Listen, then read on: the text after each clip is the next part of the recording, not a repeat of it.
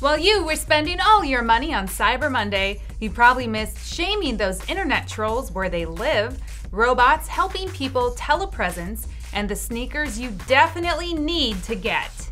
Welcome to In Case You Missed It, where a rodent of unusual size may have been spotted on Mars, according to some amateur astronomers. I don't think they exist. We know how this goes down. We are still a ways away from the Fifth Element's instant digital manicures, but these two futuristic fashions are getting pretty close. The Nailbot pairs with your smartphone to paint custom designed art onto your fingernails without having to go to the salon, so it's perfect. It's on Indiegogo now, and who needs self-lacing shoes Our laces, all right. when these ShiftWear sneakers come with color e-paper screens?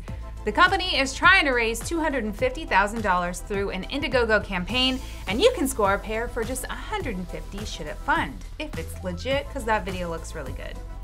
Italian and Swiss researchers cooked up an experimental telepresence robot that uses its own smarts to make things easier for people with motor impairments. It's called Shared Control, and the user directs the robot with an EEG cap and brainwave detecting headset.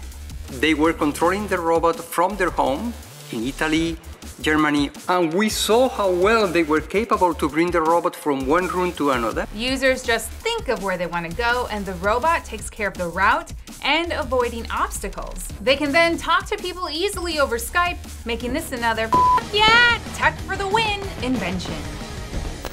You know those social media trolls you have to put up with? Yep, I know about it. Brazil isn't taking any more of it when it comes to racist online abuse. Take a gander at these billboards. The project is called Virtual Racism Real Consequences, and thanks to geotagging, organizers can find out a troll's neighborhood and put up the billboards shaming them near their home. The names and faces are blurred, but dude, if that's you, message delivered. Your mom can probably tell too. That's embarrassing. And finally, boomerang guy Victor Poulin slapped a Mobius camera on his boomerang for a flying object point of view clip that sounds even cooler than you'd think. Don't forget to duck!